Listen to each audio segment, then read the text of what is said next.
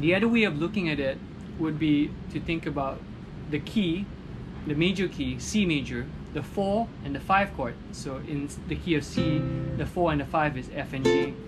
So any mode that's C major, D Dorian, E Phrygian, F Lydian, G Mixolydian, A Aeolian, B Locrian, all the modes that have the same note as C major, you can use F and G uh, and just change the bass notes and it'll be in each mode. So again, the example would be if you're in D Dorian, you use F and G over D bass.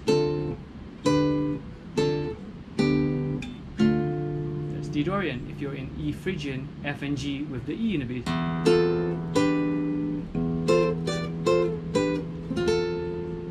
Sounds like that. F Lydian would be F and G with F in the bass.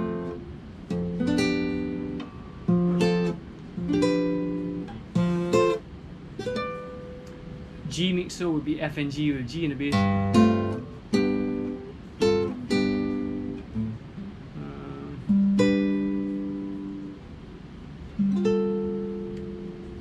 uh, A Aeolian F and G in the bass.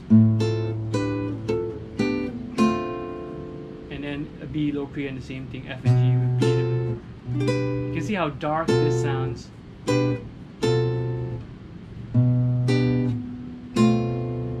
Of course, it's always nice to resolve back to the one chord. So if you're an E Phrygian, for example, to have E, E minor, and then F and G. It's Phrygian.